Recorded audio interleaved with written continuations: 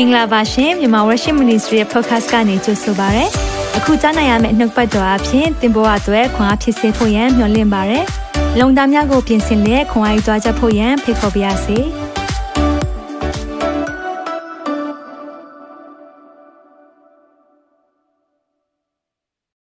Shalom Church ရောက်စီတိုင်းကိုဒီနေ့ပြန်လဲဆုံတွေ့ခွင့်ရလို့ဝမ်းသာသလိုပြင်ဆင်ပေးတဲ့ချိန်နာရီအတွက်ဖခင်ကိုအထူးပဲကျေးဇူးတင်တယ်ဒီကနေ့ကတော့ day 6ရောက်လာပြီအဆင်ပြေကြမယ်တင်ပါတယ်เนาะချိန်နေကောင်းမယ်တင်ပါတယ်တနတ်စာနှစ်နတ်စာအတချို့သုံးနတ်စာလုံးပါဝင်တဲ့သူတွေရှိတယ်ဖခင်ရှင်နာမ၌ကောင်းကြီးပေးပါတယ်ဒီနေရာကနေဖခင်ခွန်အားပေးပါစေအာဒီနေ့တော့ကျွန်တော်လုံသားထဲမှာဒီစာရှောင်တဲ့ကာလာထဲမှာဣသရေလနိုင်ငံအတွက်ဆူတောင်းဖို့နှိုးဆော်ခြင်းခံရတယ်ဒါနဲ့တစ်ဆက်သေးမှာပေါ့နော်အခုလက်ရှိဖြစ်နေတဲ့ Israel မှာ ဖြစ်တဲ့ update လေးတွေလည်းပြောပြချင်တယ်ဒါကြောင့် prophecy update လည်းဟုတ်တယ်လို့ day 6ဆူတောင်းခြင်းလည်းဟုတ်တယ်ဝန်ခံနေကြနှုတ်ပတ်တော်ဝန်ခံရအောင်ဒီနှစ်သုံးနှုတ်ကပတ်တော်သည်အကျွန်ုပ်ခြေရှိမှမိခွက်ဖြစ်၍အကျွန်ုပ်လမ်းကြီးကိုလင်းစေပါ၏ဒီနှုတ်ပတ်တော်ရရင်ဖះဘာလုပ်နေတယ်လဲဆိုတာသိလိမ့်မယ်အာမင်ကျွန်တော်တို့ဖះဘာလုပ်နေတယ်လဲဆိုတာသိဖို့လိုတယ်အဲကြောင့်တမန်ကျမ်းစာထဲမှာ Israel နိုင်ငံသည် super sign လို့ခေါ်တယ် super sign ဆိုတာဖျားပြန်လာတော့မယ်ဖျားဘာလုပ်တယ်လဲဆိုတာသိဖို့ရအတွက်က Israel နိုင်ငံကိုကြည်ရတယ်။အဲကြောင့်ဒါ prophecy update တွေပြောတဲ့ခါတိုင်းမှာနိုင်ငံရေးပြောတာမဟုတ်ဘူး။နိုင်ငံတော်အရေးကိုပြောတာ။ခရစ်တော်ရဲ့ဥချုပ်မဲ့နိုင်ငံတော်တည်တော့မယ်။ဒါကြောင့်မလို့ဒီနေ့မှာလည်းဒီအရာတွေပြောတဲ့ခါမှာ ကျမ်းစာဘလောက်ပြည့်စုံနေပြီလဲဆိုတာကိုမိတ်ဆွေကို နားလည်စေချင်တယ်။ဒါကြောင့်ကျွန်တော်တို့ကြည့်ရမယ့်အမြင်လေးပေါ့နော်။အခုဆိုရင်ကျွန်တော်တို့ကဘာနဲ့ကြည့်တာလဲ။ရှေ့လေပိုင်းကိုဖျားရဲ့ Bible lens လို့ခေါ်တာပေါ့နော်။တမန်ကျမ်းစာ ရှုထောင့်ကနေကြည့်တာဖြစ်တယ်။ဒါကိုနားလည်ဖို့ဖြစ်တယ်နော်။ဒါကြောင့်ကျွန်တော်နိုင်ငံရေးပြောတာမဟုတ်ဘူး။တမန်ကျမ်းစာရှုထောင့်နဲ့ ဖျားကဘာလုပ်နေပြီလဲကျန်းစာဘလောက်ပြည့်စုံနေပြီလဲဆိုတာကိုဒီနေ့လေ့လာသွားရအောင်ခဏလောက်စက္ကန့်နိုင်အောင်သက်ရှင်တော်ဖျားနာမတော်ကိုချီးမွမ်းတယ်ပို့ဆောင်ပေးတဲ့အရာအတွက်ယေရှုတင်တယ်ဒီကနေ့မှလည်းဣသရေလနိုင်ငံကိုဆုတောင်းပေးဖို့ရန်အတွက်ကိုရရဲ့ဝိညာဉ်တော်ကနှိုးဆော်သလိုခုလက်ရှိဖြစ်ပွားနေတဲ့အရှိလေပိုင်းမှာဖြစ်နေတဲ့အရာအလုံးကိုလည်း update လုပ်ပေးခြင်းပါတယ်ကိုရောအသင်းတော်ကိုနားလေစေပါကိုရောသားသမီးတွေကိုဝိညာဉ်အမြင် ရရှိဖို့ရန်အတွက်လှုပ်ဆောင်နေခြင်းဖြစ်ပါတယ်။ဒါကြောင့်ကိုရောဒီကနေ့မှာကျွန်တော်တို့ရဲ့ဟောပြောသက်သေခံခြင်းမှာဘုရားရဲ့ဝိညာဉ်တော်ဖျားလမ်းပြပါမိအကြောင်းတပါးရောသားရမြတ်သခင်ရှုနာမ၌စက္ကန့်နဲ့ဆုတောင်းပါ၏ဖာ။အာမင်။အာမင်။ဒီကနေ့မှာလေ့လာသွားရအောင်။ဒီနှစ်ရဲ့ပထမဦးဆုံး prophecy update ကျမ်းစာပြည့်စုံခြင်းလည်းဖြစ်တယ်။ဒါကြောင့်ကျွန်တော်တို့တမန်ကျမ်းစာပြည့်စုံချက်များ prophecy update ဆိုပြီးတော့ ဒီကနေ့မှာပြောပြချင်တယ်ဆိုတော့ကျွန်တော်တို့ဒီဇင်ဘာလတော့မပြောဖြစ်ဘူးပေါ့နော်ကျွန်တော်ခရစ်စမတ်ကာလလည်းဖြစ်တယ်လူတွေလည်းအလုံများကြတယ်ဆိုတော့စစ်ပွဲကတော့ဆက်တိုက်ဖြစ်နေတယ်ဒီနေ့ဆိုရင်တော့ Hamas နဲ့ Israel နဲ့ဖြစ်တာကရက်ပေါင်း90နဲ့မှတရက် day 91အောင်ရောက်သွားပြီ3လဟော3လပေါ့နော်3လတည်းကိုရောက်လာပြီဘာတွေဆက်ဖြစ်မလဲဘာတွေဖြစ်သွားလဲဒီသလောမှာဆိုတော့ကျွန်တော်ကြည့်ရမယ် အရာလေးကိုလည်းပြန်ပြီး remind လုပ်ချင်တယ်နော်နှုတ်ကပတ်တော်ရှုတောင်းကနေကြည့်မယ်။ Israel နဲ့ Hamas ဖြစ်တဲ့စစ်ပွဲကနေဘာကိုဥတီနိုင်တယ်လဲဒီအရာကိုယုံကြည်သူများသိထားဖို့လိုတယ်။အဲ့ဒါမှပဲဘယ်အချိန်ကကြီးဆောင်ခြင်းလဲဘယ်အချိန်ကဘေးဒဏ်ကြီးကာလလာတော့မလဲဘယ်အချိန်က antichrist လာတော့မလဲမဟုတ်ဘူးဆိုရင်ကျွန်တော်တို့ဘာပဲဖြစ်လဲဆိုတော့လောကမှာနေတဲ့အခါမှာကြွယ်ဝချမ်းသာဖို့ကြီးပဲဟောကြတယ်ကြွယ်ဝချမ်းသာဖို့ပဲပြင်ဆင်ကြတယ် နေဖះဘာအလုပ်လုပ်နေတယ်လေဖះရဲ့နိုင်ရီကိုမကြည့်တတ်ဘူးဒီနေ့ဖះရဲ့နိုင်ရီကိုကြည်ရအောင်เนาะဒါကြောင့်မလို့လူကာစနစ်ထဲမှာသခင်ပြောတဲ့အရာလေးကိုပြောပြခြင်းနဲ့အငယ်54မှာတဖန်လူစုဝေးတို့အမိန်တော်မူသည်ကတင်းတို့သည်အနောက်မျက်နှာ၌မိုးရိပ်တက်သည်ကိုမြင်သောအခါမိုးရွာမီဟုချက်ချင်းဆိုတတ်၏တောင်းလေးလာသည်ကိုမြင်သောအခါနေပူမီဟုလည်းဆိုတတ်၏ဆိုသည့်အတိုင်းလည်းဖြစ်တတ်၏ရာသီဥတုကြည့်တယ်ဒါပေမဲ့အဲ့ဒီမှာသခင်ကဝမ်းနေတဲ့အရာတခုပြောတယ် 56မှာလှုပ်ဝက်သောသူတို့သင်တို့သည်မြေကြီး၏မျက်နှာနှင့်မိုးကောင်းကင်မျက်နှာကိုပိုင်းခြား၍သိနိုင်ကြ၏ယခုကကာလကိုအပေကြောင့်ပိုင်းခြား၍မသိနိုင်ကြသနည်းကကာလကိုမသိနိုင်ဘူးတဲ့ဘာလို့မသိတာလဲသခင်မကြည်နပ်ဘူးနော်သခင်အားမရအောင်ကျွန်တော်တို့တွေဘာလို့မသိတာလဲဖွင့်ပြချက်ရဖို့ဖွင့်ဖတ်ဖို့လိုတာတမန်ကျမ်းစာရဲ့လေးပုံတစ်ပုံကအနာဂတ်တိအကြောင်းရေးထားတာရှေ့ပါဖြစ်မလဲဆိုတဲ့အရာကိုရေးထားတာ ဒါပေမဲ့ကျွန်တော်တို့ကြိုက်တာကောင်းကြီးအကြောင်းပဲကြိုက်တယ်ဒါကြောင့်မလို့အနာဂတ်တိအကြောင်းတွေပြောတယ်ဟာဆရာရဲ့ဒါတွေကအရန်ကိုပဲဘာတွေလဲဘာတွေဖြစ်ကုန်ပြီလဲကျွန်တော်တို့ကမစိုးရိမ်ဘူးနှုတ်ကပတ်တော်နဲ့တကယ်သွားတဲ့သူကမစိုးရိမ်ဘူးနှုတ်ကပတ်တော်နဲ့မသွားဘဲနဲ့နော်လိုရာဆွဲတွေးတဲ့သူတွေကစိုးရိမ်နေဒီချိန်မှာတော့စိုးရိမ်ဖို့မဟုတ်မိတ်ဆွေခွာပေးခြင်းနဲ့အဲကြောင့်မြန်မာ worship မိသားစုများမစိုးရိမ်ဘူးလို့ယုံကြည်ပါတယ်နော်ယုံကြည်ပါတယ်ဒါကြောင့်ဒီကနေ့မှာ ဒီအရာလေးကြည့်တဲ့အခါမှာသင်ဟာကတ်ကာလာကိုပိုင်းခြား၍တည်တော်သူဖြစ်ဖို့ဖျားရှင်ကသင်ကိုကောင်းချီးပေးပါစေအာမင်ဘာကိုကတ်ကာလာကြည့်ရမလဲလူကာ27ထဲမှာဒီလိုပြောတယ်အဲ့ဒီသင်မောသဖန်ပင်ဆိုတော့သုံးထားတယ်ဒီသင်မောသဖန်ပင်ကတခြားမဟုတ်ဘူးဘာကိုဆိုလိုတာလဲအငယ်29ကနေဖတ်ချင်တယ်တဖန်မိန်တော်မူသောဥပမာကသင်မောသဖန်ပင်မှစ၍တစ်ပင်များပြောကြည့်ပါသင်မောသဖန်ပင်မှစ၍တစ်ပင်များ အဲ့ဒီသင်မောသဖန်ပင်ကဘာလို့လဲဣသရေလကိုပြောတယ်ဖခင်ရဲ့မျက်စံတော်ဖခင်ရဲ့လူမျိုးတော်တွေသင်မောသဖန်ပင်အရွက်ပေါက်သောအခါနှွေကာလနီးတယ်ဣသရေလနိုင်ငံပြန်ရှိလာမယ်အဲ့ဒီကနေပြန်ပြီးဖွံ့ဖြိုးတိုးတက်တဲ့ကာလဆိုတာအဲ့ဒါကိုပြောတာအရွက်ပေါက်တယ်1948မှာပြည်ဆုံးသွားတယ်အလိုအလျောက်သိသိမြင်ကြ၏ထိုနည်းတူထိုအရာများဖြစ်သည်ဣသရေလနိုင်ငံပြန်တည်ပြီးဣသရေလနိုင်ငံပြန်ပြီးတော့ ကြီးပွားတိုးတက်လာပြီဆိုရင်တဲ့မဖြစ်ရမလဲဖျားသခင်ဤနိုင်ငံတော်ဒီလူနီးပြီဝန်ခံပါအောင်ဖျားသခင်ဤနိုင်ငံတော်ဒီလူနီးပြီလို့ဝန်ခံပါအောင်ဖျားသခင်ဤ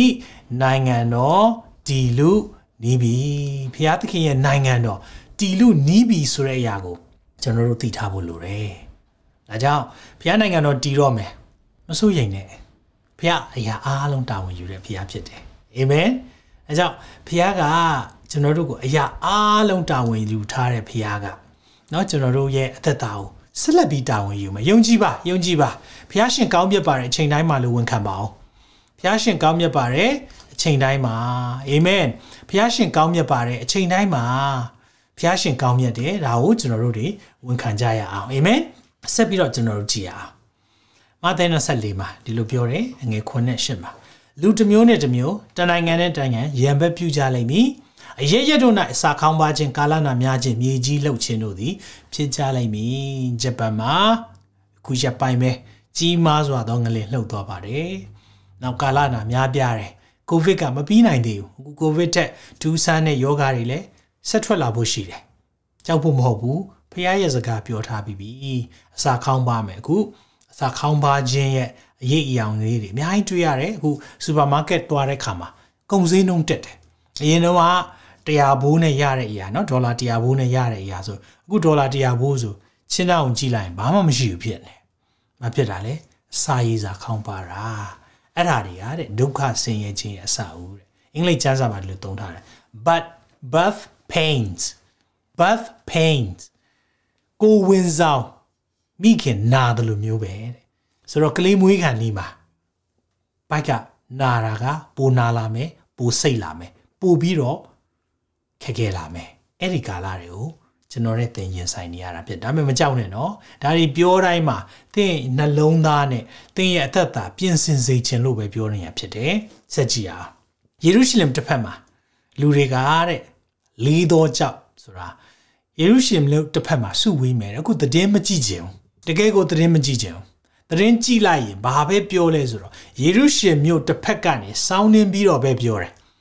သတင်းမီဒီယာအများအပြားပေါ့နော်တချို့တော့မမှန်ကန်ကန်တင်ပြတာရှိတယ်ဒါပေမဲ့အခုက bias media fake news တအားများတယ်ဆိုတော့ Israel ကပြစ်ထည့်လိုက်ပြီးအာလူနေအိမ်စောက်အုံတွေထိသွားတယ်ဒါပေမဲ့မိတ်ဆွေသိလားအဲ့ဒီလူနေအိမ်အဆောက်အအုံဆိုတာကဒီ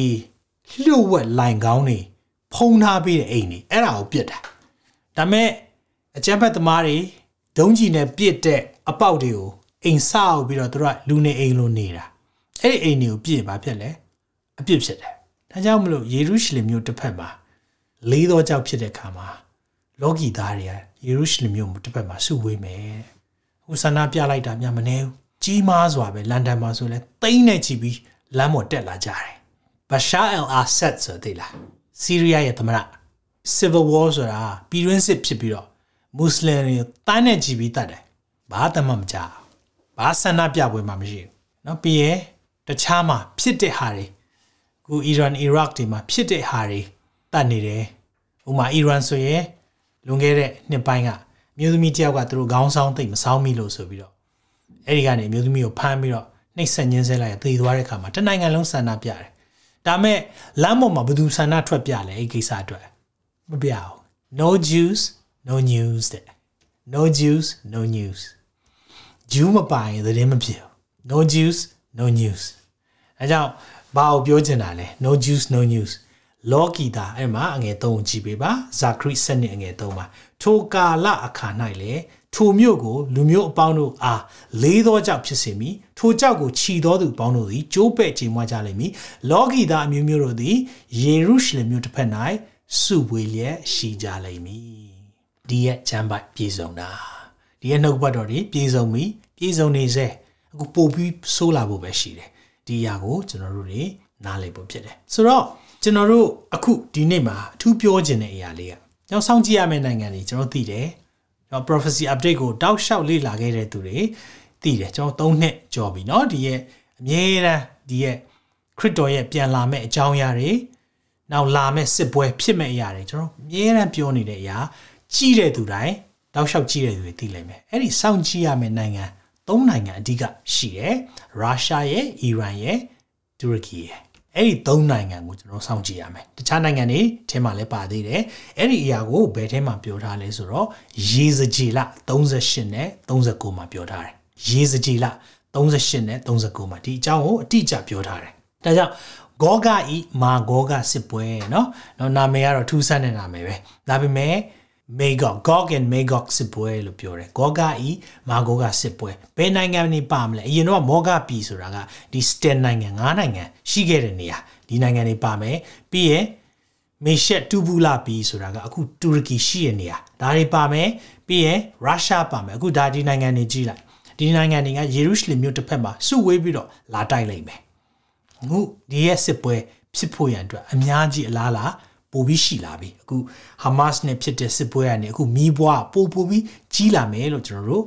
မျှော်လင့်ထားတယ်ဖြစ်ဖို့လည်းရှိတယ်ဒါတွေဖြစ်တဲ့အခါမှာစိုးရင်ဖို့မဟုတ်ဘူးသခင်ပြန်လာတာပိုပြီးတော့နီးပြီပိုပြီးတော့နီးပြီသခင်ပြန်လာမဲ့နေ့ပိုပြီးနီးပြီဆိုတာမိတ်ဆွေတွေနဲ့သတိပေးခြင်းတယ်အတိလည်းပေးခြင်းတယ်เนาะဒါကြောင့်ဒီရဲ့ချမ်းပိုက်လေးကိုဖတ်ခြင်းနဲ့ရေစကြည်လ38 39မှာ38အငယ်1ကနေ6မှာဘယ်လိုပြောလဲဆိုတော့အဲ့ဒီမှာအချင်းလူသား ယောရှပီမေရှက်ပီတူဘူလာပီကိုဆိုရတော့ဂောဂမာဂောဂပီသားဂောဂမင်းတစ်ဖက်၌မျက်နှာထားရေး prophet ပြုလျက်အရှင်သာရဘုရားအမိန့်တော်ကိုဆင့်ဆိုရမိမှာတဲ့ကဲ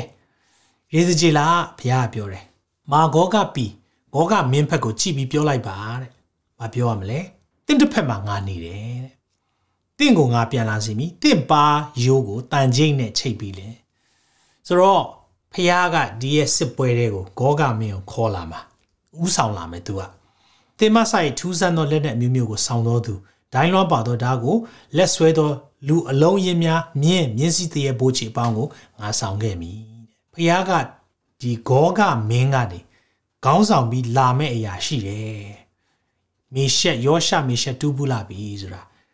သရေလနိုင်ငံရဲ့မြောက်ဖက်အစွန်းတက်တဲ့ကြီးလိုက်တဲ့ခါမှာဘယ်ပြည်ပဲသွားတွေ့လဲ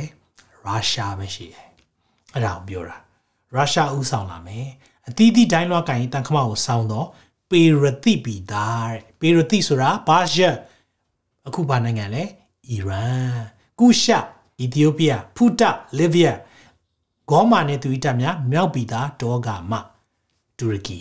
တက်လုံးရင်အပေါင်းတွေနဲ့သင်နဲ့အတူလိုက်လာမယ်ဒါကြောင့်ဒီစောင့်ကြည့်ရတဲ့နိုင်ငံ၃နိုင်ငံဆိုတာသူတို့ဟာ ပိုပိုပြီးတော့အခုတလုံးမှာပေါင်းတဲ့အရာလေးတွေကျွန်တော်တွေ့ရတယ်။ဒါကြောင့်မလို့ဒီအရာလေးနဲ့ကျွန်တော်ပြောပြချင်တယ်เนาะဆိုတော့ဟုတ်ပြီဆိုတော့ကျွန်တော်ဒီနေ့ပြင်ဆင်ထားတဲ့အရာလေးချို့ရှိတယ်အဲ့ဒါဘာလဲဆိုတော့အေးသတင်းကောင်းစင်တွေမှာအခုနောက်ပိုင်းမှာတွေ့ရတဲ့အရာလေးတွေရှိတယ်ဒါလေးကိုကြည့်ရအောင်ဆိုတော့အခု Hamas နဲ့ Israel စစ်ပွဲဖြစ်တာရက်ပေါင်း90ကျော်သွားပြီဘာတွေထူးခြားလဲကြည့်ရအောင်เนาะတစ်ချက်လောက် ဆိုတော့ဒီပြီးခဲ့တဲ့ရက်ပိုင်းမှာပဲဘာဖြစ်သွားလဲဆိုတော့ဘေရုတ်ဆိုတာက Lebanon Lebanon ဆိုတာက Israel ရဲ့မြောက်ပိုင်း Israel အပေါ်လေးမှာ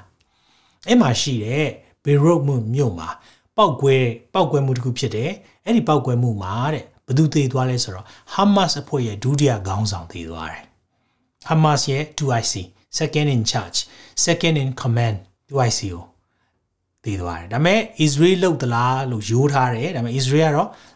ထောက်လည်းမထောက်ခံဘူးညင်လည်းမညင်ဘူးဒါ Israel ရဲ့ policy ဖြစ်တယ် Lebanon မှာရှိတဲ့ Hamas ရဲ့အဖွဲ့တကယ်ကိုထိတ်သီးခေါင်းဆောင်ပေါ့နော်ဒုတိယမြောက်ခေါင်းဆောင်ရှင်းပလိုက်ပြီဆိုတော့ဒီစစ်ပွဲကနေဘာဖြစ်မလဲเนาะဒီရဲ့ကိစ္စမှာအခုတလော့အင်မတန်မှာသွေးတွေစူသွားကြတယ်။ဟောဒီဟာပောက်ကွဲသွားတဲ့အဆောက်အုံပေါ့เนาะဒီရဲ့အဆောက်အုံထဲမှာဒီခေါင်းဆောင်နဲ့တခြားထိပ်သီးခေါင်းဆောင်တချို့ရှိနေတဲ့အချိန်မှာပဲ drone နဲ့တိုက်လိုက်တဲ့ခါမှာ အကုန်လုံးဒီရဲ့အသူတွေတည်သွားတယ်ဆိုတော့เนาะဒီနေရာလေးပဲကြည့်လိုက်ပါပုံမှန်တွေ့ရမယ်ထင်ပါတယ်เนาะ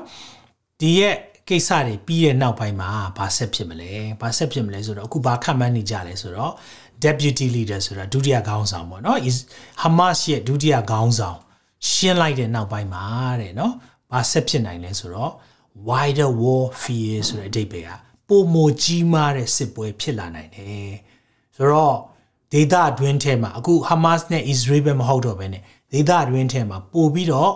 ပြင်းထန်တဲ့စစ်ပွဲတွေဖြစ်လာတယ်ဒါပေမဲ့ Lebanon အစိုးရကသူတို့စစ်မဖြစ်ချင်ဘူးတဲ့သူတို့မှာဒီလိုမျိုးလှုပ်ဖို့အနေထားမရှိဘူးသူတို့စီးပွားရေးအရန်ပြက်နေတယ်ဒါပေမဲ့ Lebanon နိုင်ငံကိုဘယ်သူကချုပ်ကင်ထားလဲဆိုတော့ Hezbollah Hezbollah ကအကြမ်းဖက်အဖွဲ့ဖြစ်တယ်နော် Hezbollah အရင်တော့ကျွန်တော်သတင်းမှာခဏခဏကြာ Hezbollah စစ်သွေးကြွ Hezbollah စစ်သွေးကြွတကယ်တော့စစ်သွေးကြွမဟုတ်ဘူးအကြမ်းဖက်အဖွဲ့ဒါကိုအကြမ်းဖက်အဖွဲ့ဖြစ်နိုင်ငံတကာတတ်မှတ်ထားတယ်ဆိုတော့ဒီမှာသူတို့ရဲ့ခေါင်းဆောင်ဒီလူကနော် Nazreli လို့ခေါ်တယ်ဒီလူက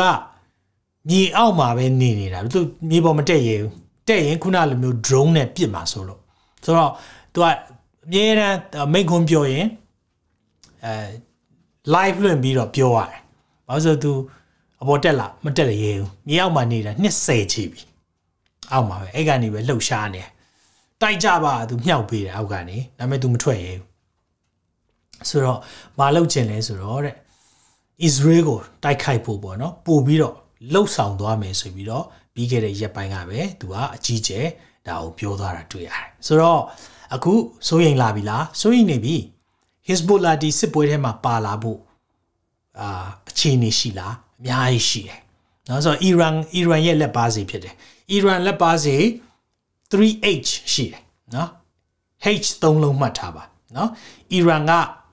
နော်တကယ်ကိုအသုံးပြုတဲ့လက်ပါစီ 3H Hamas Hezbollah Houthi နော်ဒီသုံးဖွဲ့ရှိတယ် Hamas ရဲ့ Hezbollah ရဲ့ Houthi ရဲ့ H တင်နဲ့ပဲစတာအဲ့ဒီသုံးဖွဲ့က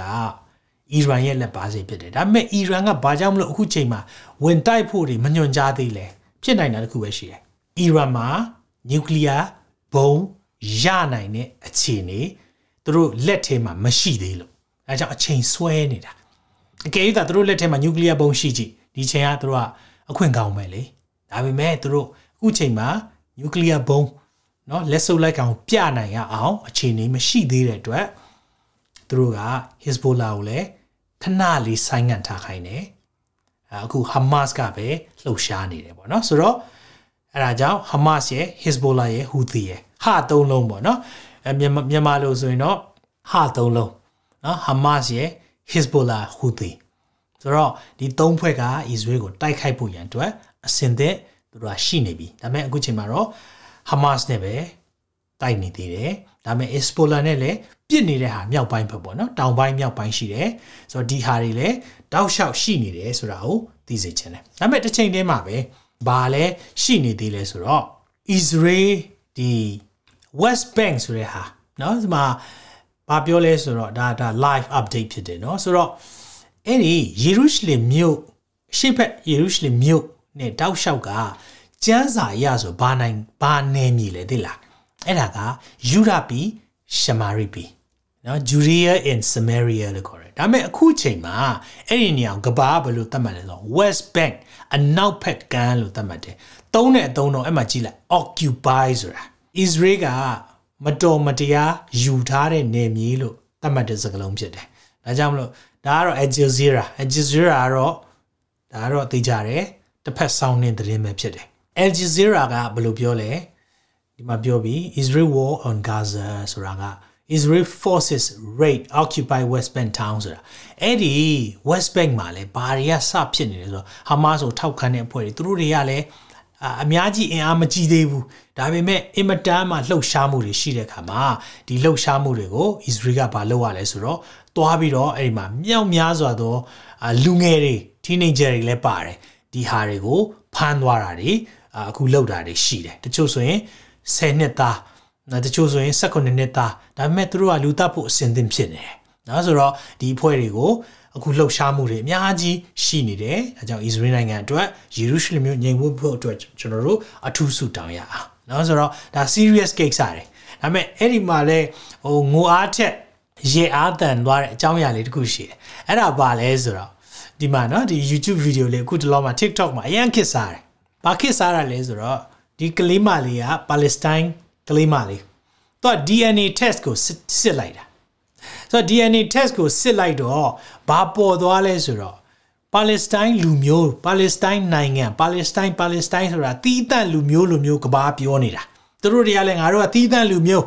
ငါတို့ပါလက်စတိုင်းဆိုတာတီးတန့်ပဲငါတို့တသက်နိုင်ငံရှိတဲ့နဲ့ဒါငါတို့နိုင်ငံကိုအစ္စရေးယူထားတာအဲ့လိုပြောနေရင်တန်လန်နဲ့ဒီကလေးမလေးက DNA test လုပ်လိုက်တော့ဘာသွားပေါ်လဲဆိုတော့ तू အားတဲ့သူ့သွေးထဲမှာဘာများနေလဲဆိုတော့ Egypt နဲ့ Jordan သွေးပါနေအာရပ်ပေါ့အာရပ်ပဲလေနော်ဆိုတော့တီးတန့်မှမဟုတ်တာဆိုတော့အတိတ်ပဲပါလေသူတို့ကအာရပ်ဒုက္ခတွေတွေတကယ်တော့ပြောမယ်ဆိုရင်ဂျော်ဒန်နိုင်ငံကပယ်ထားတဲ့ဟာအီဂျစ်နိုင်ငံကပယ်ထားတဲ့ဟာအဲ့ဒီဟာတွေကဂါဇာမှာသွားစုစုနေရင်တန်လန်နဲ့ သူတို့နော်အစ္စရေးကပိတ်တယ်ပဲပြောတာတကယ်တော့အပေါက်ကနှစ်ပေါက်ရှိတယ်လေနော်အစ္စရေးဖက်ရှိသလိုအီဂျစ်ဖက်လည်းရှိတယ်အီဂျစ်ဖက်ဆိုရင်လုံးဝပိတ်ကြတာနော်သူတို့ကလုံးဝမလို့ချင်ဘူးစဉ်းစားကြည့်လေမွတ်စလင်ချင်းချင်းပဲလေနော်ဘာလို့မယူချင်တာလဲမယူဘူးဒီအဖွဲ့ကဒုက္ခပေးတဲ့အဖွဲ့ဆိုတာသိတယ်ဆိုတော့အဲ့ဒီမှာ तू ကအကြီးအကျယ်စိတ်တွေဆိုးပြီးတော့ဒီ DNA စစ်တဲ့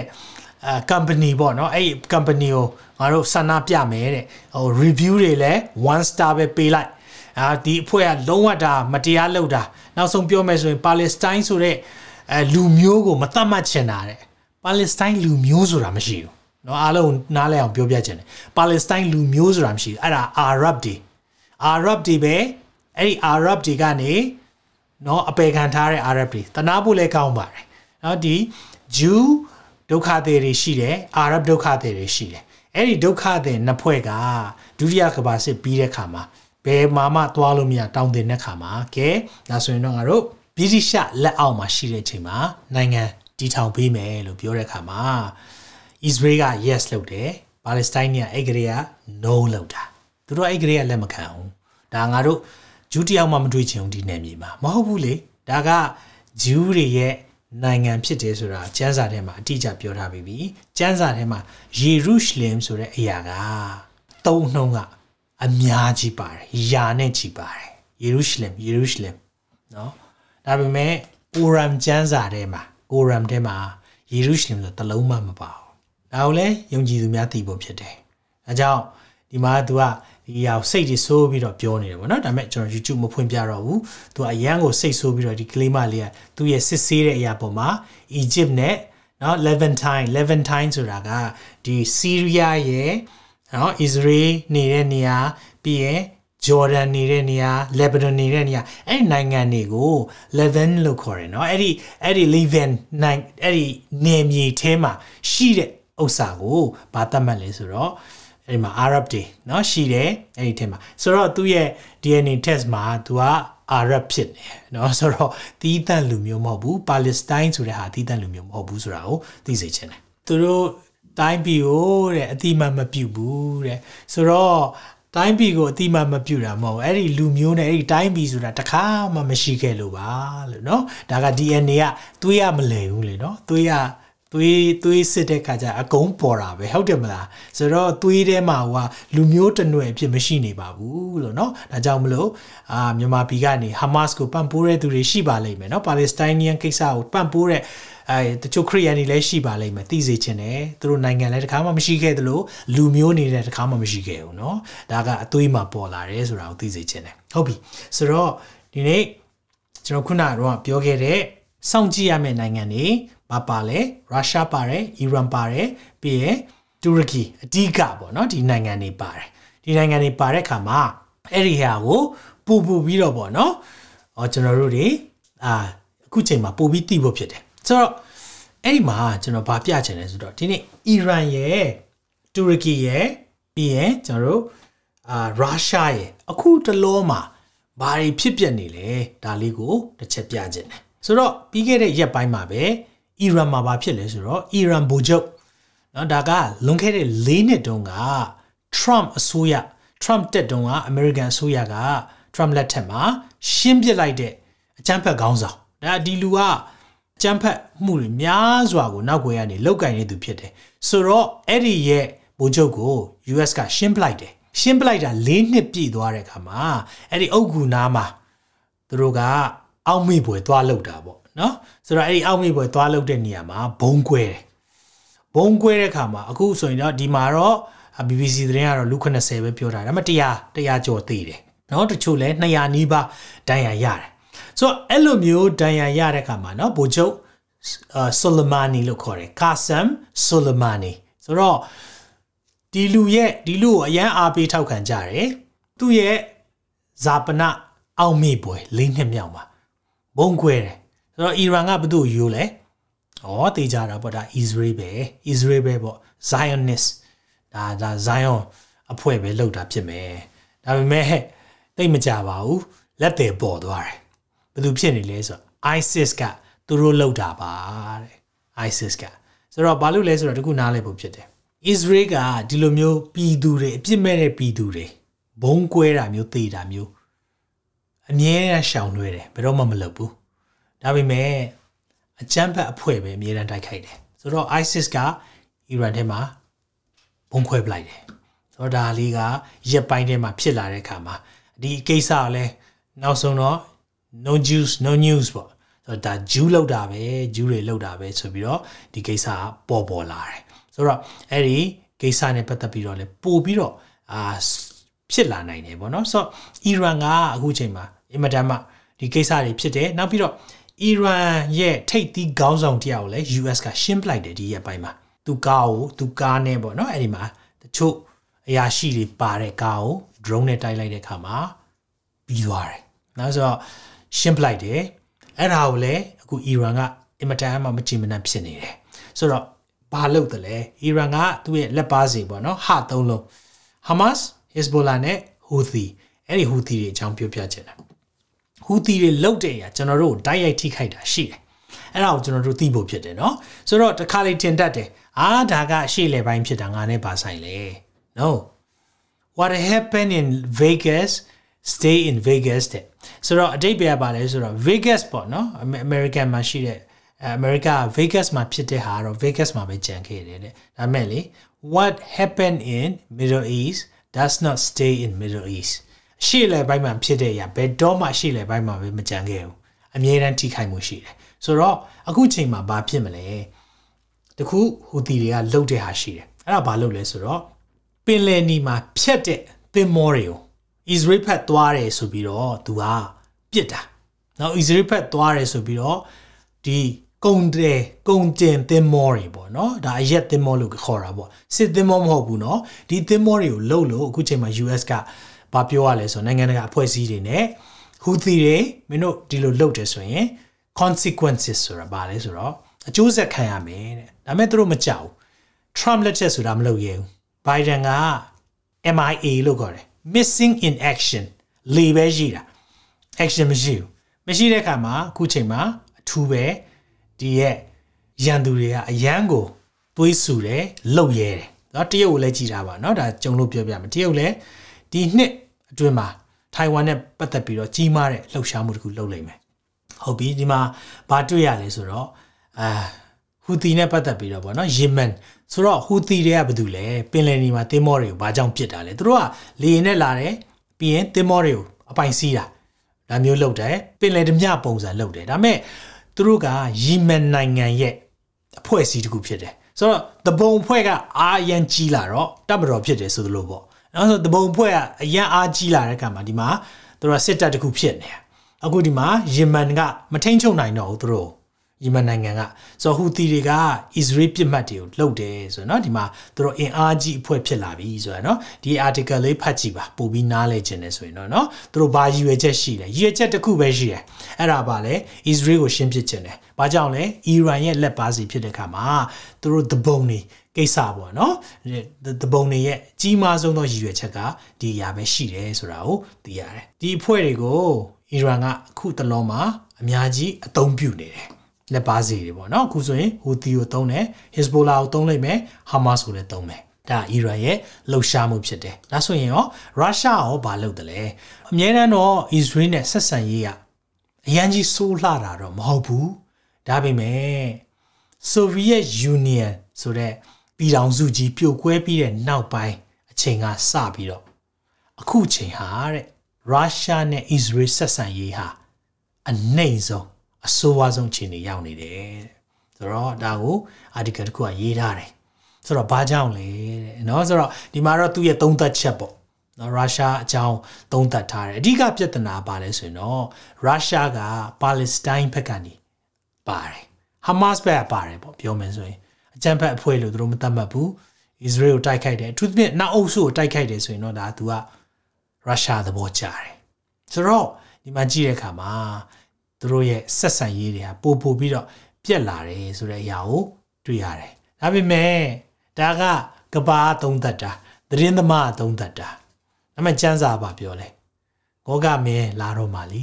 ရုရှားဥဆောင်ပြီးတော့လာမယ်ဆိုတဲ့အရာကိုတွေ့ရတယ်ဒါကြောင့်ရုရှားဘာဆက်လုပ်မလဲဒီနှစ်ထဲမှာကြီးထားပါနော်အခုရုရှားရဲ့သဘောထားတွေပို့ပို့ပြီးတော့ဆိုးလာမယ်အထူးသဖြင့်ဆီးရီးယားထဲမှာအစ္စရေးကဝင်ရောက်ပြီးတော့ ဒီဆီးရီးယားရဲ့ဒမတ်စကတ်လေဆိပ်ကိုပစ်တာတို့အထူးသဖြင့်ဘာကြောင့်ပစ်တာလဲဆိုတော့အီရန်ကလက်နက်တင်ပို့တယ်ကုန်တင်လေယာဉ်တွေပဲ passenger သွားတဲ့လေယာဉ်တွေပဲခီးတဲ့တင်လေယာဉ်နဲ့လှုပ်တယ်အဲ့ဒါတွေကိုမကြိုက်တဲ့အခါမှာမကြိုက်ဘူးဆိုတာအဲ့ဒါလွတ်ပေးလို့မရဘူးလွတ်တာနဲ့ Israel တို့အန်ဒီရရှိတဲ့အခါမှာ Israel ကလေကြောင်းတိုက်ခိုက်မှုတွေလုပ်တယ်ရုရှားအခုချိန်မှာနည်းနည်းလေးမျက်စိမှိတ်ပေးတဲ့သဘောရှိတယ်ဒါပေမဲ့နောက်ပိုင်းကျရင်လုံးဝမလုပ် လာခွင့်မရှိတော့စသဖြင့်ဒါရှိလာတော့မယ်ပြီးခဲ့တဲ့တစ်ခေါက်တော့ကျွန်တော်ပြောဘူးတယ်ရုရှားက Hezbollah ကိုလေရင်ပြစ်အမြောက်တွေပံ့ပိုးထားတယ်အခုချိန်မှာ Israel နဲ့ရုရှားကအများကြီးဆက်ဆံရေးတွေပြက်လာပြီပြက်မယ်ဆိုတော့ကျွန်တော်ပြောထားပြီးသားပဲလေเนาะကျန်စာနှစ်ပေါင်းဘယ်လောက်ကြိုပြောလဲနှစ်ပေါင်း2000နဲ့မှ600အဲ့လိုပြောနိုင်တာတဲ့ပြောနိုင်တာအသက်ရှင်တဲ့ဖန်ဆင်းရှင်သာရဘုရားတပါးပဲရှိတယ်ဟာလေလုယာဒါကြောင့်မလို့တမန်ကျမ်းစာဟာယုံလို့ရလား ယုံလို့ရတယ်။ဒါကိုသိစေချင်တယ်နော်။နောက်ပြီးရကပောက်ကျန်းစနစ်ထဲကနော်ဖရားရဲ့ဂရိတော်ပြည့်စုံတဲ့အရာရှိတယ်။တင့်ကိုကောင်းကြီးပေးသောသူကကောင်းကြီးပေးမယ်။တင့်ကိုချိန်ဆသောသူကချိန်ဆမယ်။နော်အဲအာဗြဟံကိုပြောတဲ့အရာ။ဒီအရာကဘယ်မှာပြည့်စုံတယ်လဲ။နော်ဒီမှာတူရကီနော်တခုတူရကီအကြောင်းပြောရင်းနဲ့ကျွန်တော်ဆုံးသက်ချင်တယ်။ဆိုတော့တူရကီကဒီသုံးနိုင်ငံကိုပြောသွားတယ်နော်။အီရန်ရဲ့ရုရှားရဲ့အခုတူရကီတူရကီအမတ်တယောက်က မိန်ကွန်းပြောတယ်။ဘာတွေပြောတာလဲဆိုတော့နော်အဲ့မှာ Israel နဲ့ပတ်သက်ပြီးတော့သူအကြီးအကျယ်ရေးတယ်။ Israel ဟာကြမ်းဖက်အုပ်စုဖြစ်တယ်။ Israel ကိုရှင်းပြရမယ်။စသဖြင့်သူကပြောပြောနေရင်းနဲ့ရုတ်တရက်ပြောနေရင်းနဲ့ဘာဖြစ်သွားလဲသိလား။လဲသေးသွား။လဲပြီးသေးသွားတာနှလုံးဖောက်ပြီးတော့အဲ့မှာပြောနေရင်းနဲ့ YouTube video လည်းရှိတယ်။ဆိုတော့အဒီမှာဒုံငနေပဲ။ သူပြောနေရင်စကားတော့မဆုံးသေးဘူး Israel Israel ဖျားမျက်စံဖြစ်တယ်နော် the apple of my eyes ဖျားရဲ့မျက်စံမထိနဲ့ဖျားမျက်စံထိတာနဲ့အမင်္ဂလာရှိတယ်အဲကြောင့်ဒီမှာဖျားမျက်စံကိုထိတဲ့သူမဖြစ်သွားလဲချက်ချင်းကိုလဲပြီးတည်သွားတယ်နော်ဒါကြောင့်မလို့ဒီမှာကြီးကျယ်ပြောနေတော့မှရှိသေးတယ် Israel နဲ့ပုံပုံတွေကိုသူပြတယ်ကြီးကျယ်ကိုနော်သူပြောတဲ့အသုံးနှုန်းတွေအမြင့်တမ်းမကို တော်တော်လေးကိုကြမ်းတမ်းတဲ့စကားလုံးတွေနဲ့တိုက်ခိုက်တာဖြစ်တယ်။ဒါပေမဲ့အာမကြပါဘူးချက်ချင်းကိုလဲပြီးတော့သေသွားတယ်။စိတ်မကောင်းစရာပဲ။ဆိုတော့တူရကီရဲ့သဘောထားလေးကိုလည်းပြောပြချင်တယ်။တူရကီကတကယ်တော့အနောက်အုပ်စုနောက်အုပ်စုဆိုတာအမေရိကတို့ဗြိတိန်တို့ဒီဘက်နိုင်ငံတွေနဲ့ तू ကတဖွဲ့တည်းနေတိုးမဟာမိတ်နိုင်ငံလေးနော်မြောက်အတ္တလန္တိတ်စာချုပ်အဖွဲ့လို့ခေါ်တယ်အဲဒီနေတိုးအဖွဲ့ဆိုတာ ရုရှားကိုပြိုင်ဖို့ရန်အတွက်ထောင်ထားတဲ့အဖွဲ့ပေါ့နေတိုးအဖွဲ့ထဲမှာပါတယ်ဒါပေမဲ့တူရကီရဲ့သဘောထားကအနောက်အုပ်စုဘက်မှာမရှိဘဲနဲ့ဘယ်သူနဲ့ပေါင်းလဲဆိုအနောက်အုပ်စုရဲ့ရန်သူတွေအခုမြောက်ကိုရီးယားတို့တရုတ်တို့ရုရှားတို့ဒီအဖွဲ့တွေနဲ့တွားပေါင်းတယ်ဒါတောက်လျှောက်နော်အော်စရာကောင်းတာဒီဒီလိုမျိုးဖြစ်လာမယ်ဆိုစန်းစာကြိုသိလားသိတယ်ရေးဂျီလာ38မှာဒါကိုကြိုပြောထားပြီးသားမေရှက်တူပူလာပြီတူရကီလေ အခုသူ့ရဲ့သဘောထားအရန်ကိုအထူးသဖြင့် Israel ကိုသူမုန်းတာစန့်ကျင်တယ်ဆိုတော့ဒီရက်ပိုင်းမှာဘာဖြစ်သွားလဲဆိုတော့တူရကီကတဲ့ arrest 33 alleged Mossad Mossad agent ဆိုတာ Israel ထောက်လန်းရေးဖြစ်မယ်လို့တန်တရားရှိတဲ့သူ30ကျော်ဖမ်းပလိုက်တယ်။ဘာကြောင့်လဲဆိုတော့ခုနလိုမျိုးအာဟာမတ်ခေါင်းဆောင်တွေကိုတတ်မှာဆိုလို့ဆိုတော့သူကပေါ်ပေါ်ထင်ထင်ကို Israel ကိုစန့်ကျင်နေပြီဆိုတော့အချိန်သိမ့်မကြံတော့ရုရှားရဲ့တူရကီရဲ့အီရန်ရဲ့သူတို့ပေါင်းနေတာလဲကြာပါပြီဒါပေမဲ့ပို့ပို့ပြီးတော့ပေါင်းလာပြီးတော့ Israel ကိုမြောက်ဖက်ကနေသူတို့တိုက်လိုက်မယ်ကျန်းစာထဲမှာအတိအကျပြောလားအတိအကျပြောတယ်မြောက်မျက်နှာကနေလာမယ်တဲ့ဆိုတော့သူတို့လာဖို့ရန်အတွက်အခုပြင်ဆင်နေတယ်ဆိုတော့ other one เนาะဒါဒီဒီပုဂ္ဂိုလ်ကတူရကီရဲ့သမ္မတဖြစ်တယ်ဒီရဲ့သူ့ရဲ့ညာဘက်သပင်ဖြူမုတ်စိတ်ဖြူကဘာတူလဲသိလား ဟာမတ်ရဲ့ခေါင်းဆောင်သူ့ရဲ့လက်ထောက်ပေါ့နော်အရှင်းရှင်းပစ်ခါရတာဒါမဲ့ဒီမှာ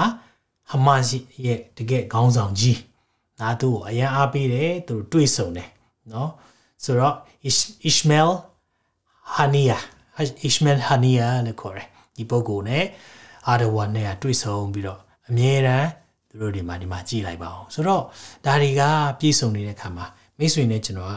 ready ဖြစ်ထားဖို့လိုတယ်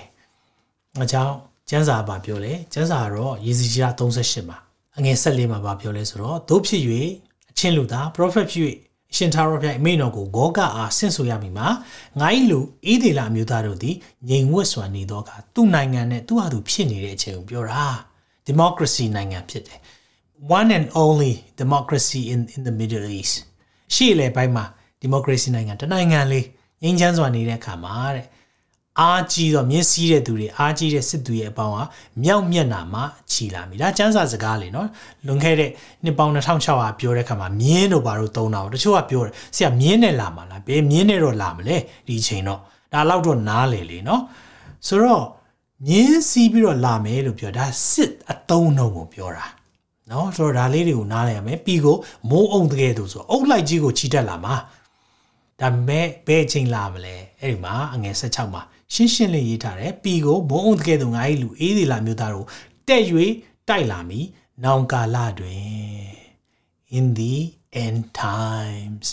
နောက်ဆုံးသောကာလမှာနောင်ကာလမှာဒီချိန်ဒီချိန်ထိုးပြီးတစ်ဖက်နိုင်တင့်ကိုငါဆောင်ခဲ့မိမဟုတ်လို့တဲ့ဆောင်းလာမယ်တဲ့လာမှာဒါပေမဲ့ Israel ရဲ့စစ်တပ်အင်အားတိတ်ကောင်းလွန်းလို့နိုင်သွားတာမဟုတ်ဘူး Israel ကြီးကျယ်ခံရမယ်ဒါပေမဲ့ ဘသူကဂျားဝင်ပြီးဖြည့်ရှင်းပေးမလဲ Israel နိုင်ငံရဲ့ကိုငိုက်မိအိပ်ပျော်ခြင်းမရှိတဲ့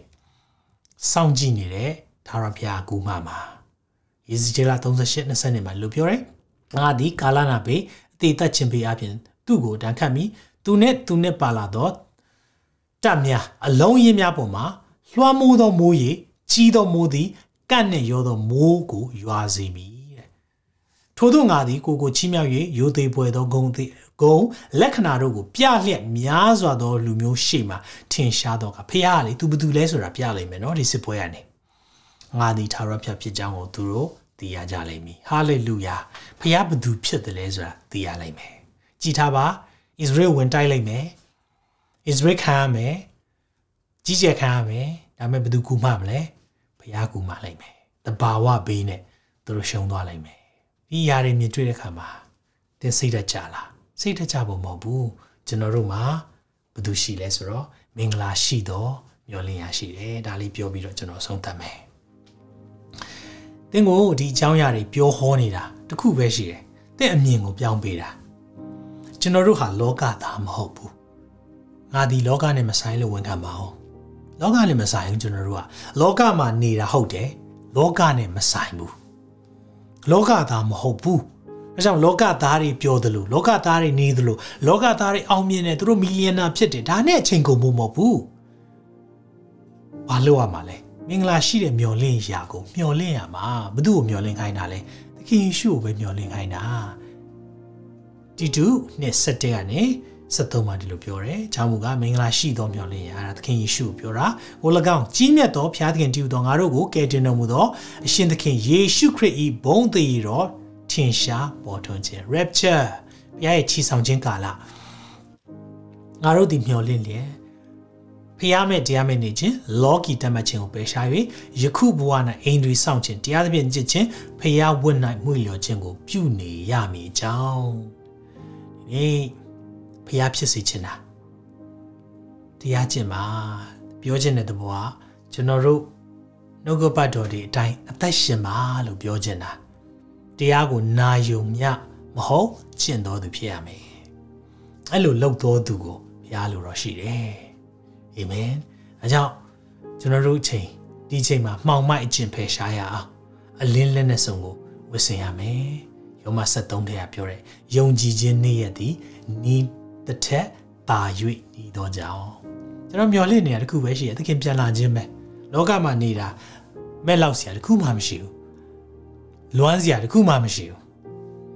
လောကမှာနေလို့မပြေစုံလို့ဒီစကားပြောတာမဟုတ်ပါဘူးဘုရားကကျွန်တော်တို့ကိုကောင်းချီးပေးတဲ့အရာတွေအများကြီးရှိပါတယ်ဒါပေမဲ့ကျွန်တော်တို့ရဲ့သက်တာမှာဒီအရာကိုဆွဲလန်းခြင်းမရှိဘဲနဲ့အထက်အရာကိုဆွဲလန်းတော်သူဖြစ်အောင်အာမင်။ ညောင်တင်ရဲ့အသက်တာဒီနေ့မှာဒီအရာကြည့်တဲ့အခါမှာကိုယ်နှလုံးသားမပြင်ဆင်ထားသေးဘူးဆိုရင်အခွင့်အရေးပေးခြင်းတယ်။ဒါမှမဟုတ်သင်ကဓမ္မမိတ်ဆွေဖြစ်တယ်၊ဘာသာကြားဖြစ်တယ်။ဒီအရာစိတ်ဝင်စားလို့နိုင်ငံရေးစိတ်ဝင်စားလို့ကြည်တာပဲဖြစ်ဖြစ်သင်ကြည့်မိတယ်ဆိုရင်ဒီနေ့သင်ကိုပြောပြခြင်းတယ်။သင်ကိုတိတ်ချစ်တဲ့ဖရားရှိတယ်။သင်ကိုဘယ်လောက်ချစ်လဲ။လက်ဝါးကားတိုင်းမှာအသက်ပေးရလောက်အောင်သင်ကိုချစ်တယ်။အဲ့ဒီဖရားကအသက်ရှင်တယ်။သုံးရမြောက်သောနေ့မှာထမြောက်တယ်။ တဖန်ပြန်လာပြီးတော့သူ့ကိုယုံကြည်တဲ့သူကိုတင်ဆက်သွားမယ်ကျွန်တော်တော့ ready ပဲသင် ready ဖြစ်ပြီလားသင် ready မဖြစ်သေးဘူးဆိုရင်ဒီနေ့မှာသခင်ယေရှုကိုလက်ခံပါခေါ်ဖိတ်ပါသခင်ယေရှုကိုကယ်တင်ပိုင်ရှင်တဲ့အရှင်သခင်ဖြစ်ကျွန်တော်ကျမလက်ခံချင်ပါတယ်ဆိုရင်ကျွန်တော်ဆုတောင်းပေးမယ်သခင်ယေရှုကိုခေါ်ဖိတ်လက်ခံပါတယ်လို့ comment ရေးပေးပါအဲ့ဒီလူတွေအတွက်ပဲကျွန်တော်ဆုတောင်းပေးမယ် hallelujah ဒီနေ့သင်ကိုဖရားသိချစ်တယ်ဒီ program ကိုသင်တိုက်ဆိုင်မှုနဲ့ကြည့်မိတာမဟုတ်ဘူးဖရားသင်ကို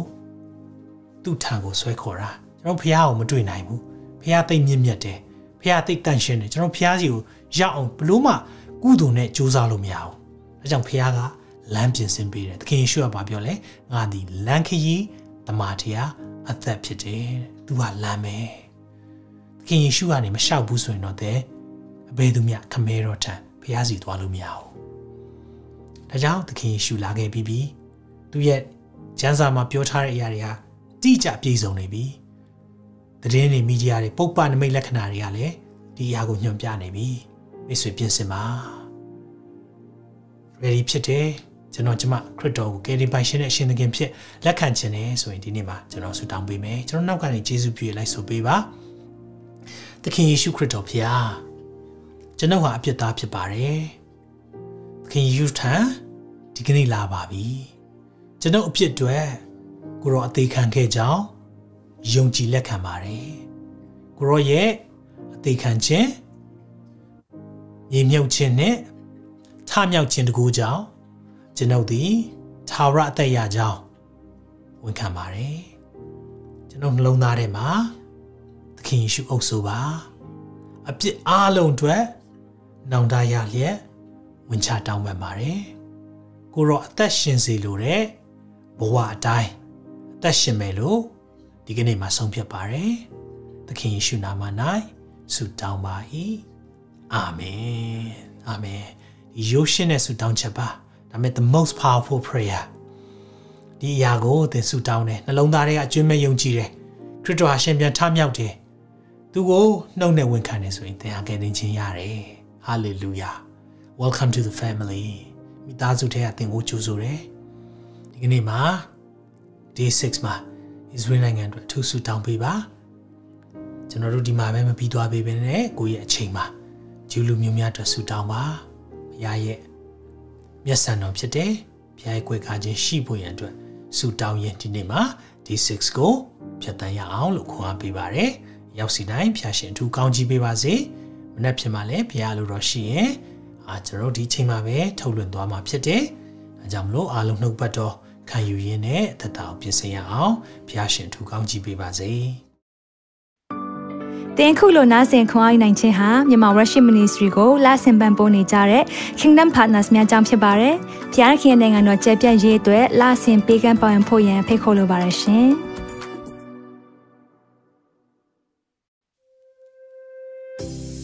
ခုကြားနာခဲ့ရတဲ့နှုတ်ပတ်တော်အဖြစ်ခွန်အားရရှိမဲ့လို့ယုံကြည်မျှော်လင့်ပါတယ်။ခွန်အားရဆိုလို့ရှိရင်ဒီတစ်ပတ်နဲ့ပြန်လည်ဝင်မြပေးဖို့ရန်တောင်းဆိုပါရစေ။မြန်မာ Worship Ministry ရဲ့ website myanmarworship.com ကိုလည်းလာရောက်လေ့လာဖို့ရန်အတွက်ဖိတ်ခေါ်ချင်ပါတယ်။တစ်ချိန်တည်းမှာမြန်မာ Worship Ministry ရဲ့ social media platform များဖြစ်တဲ့မြန်မာ Worship YouTube Channel, မြန်မာ Worship Facebook Page နဲ့မြန်မာ Worship Instagram များကိုလည်းလာရောက်လေ့လာဖို့ရန်အတွက်ဖိတ်ခေါ်ချင်ပါတယ်။နောက်တစ်ချိန်မှာပြန်လည်ဆုံတွေ့ကြပါစို့။ဖျားရှင်ကောင်းကြီးပေးပါစေ။